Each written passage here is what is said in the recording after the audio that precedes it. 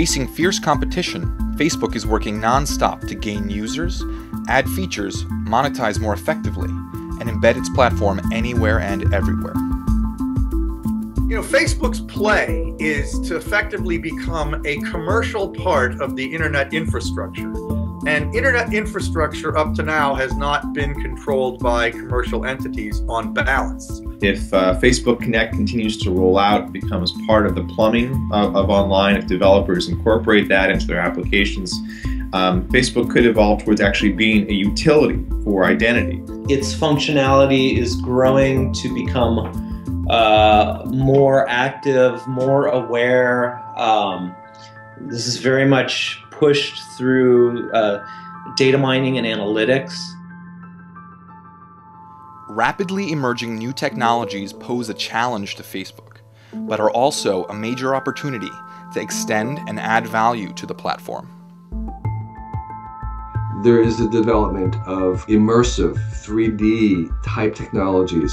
The interaction that I have with a friend is not just texting, it may actually be something in a higher dimension where I'm immersed in an environment with them. So as you look around uh, through your camera phone um, or your video enabled next generation contact lenses, uh, you might see information from Facebook superimposed over the real world, giving you reviews or opinions um, or simply gossip or messages about the things that you're looking at whether it's you know heads up glasses, heads up display glasses that have the little Facebook logo in the corner, or um, something as simple as Facebook becoming a mechanism for sharing your discoveries and sharing your information uh, that you that you get through augmented reality systems. Uh, I suspect that as new technologies emerge, as new media of of interconnection, as they emerge, Facebook will try to stay on top of that. The convergent acceleration that enabled Facebook's rapid growth is also empowering its competition and driving Facebook into sectors already dominated by major, well funded players.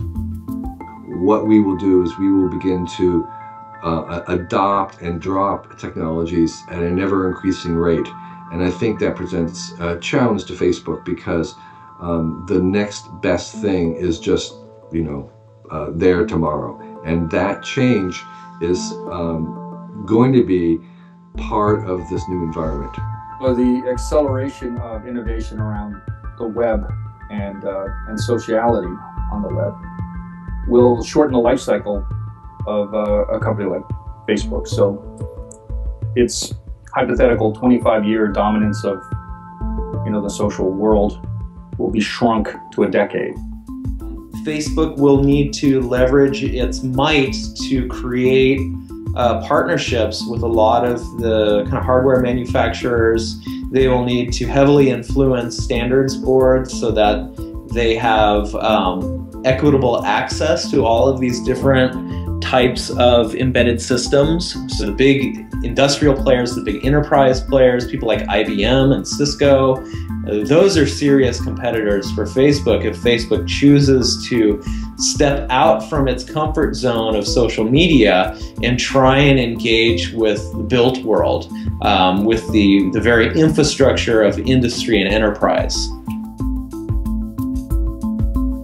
Can Facebook successfully fend off competition and navigate the rapidly transforming social web environment?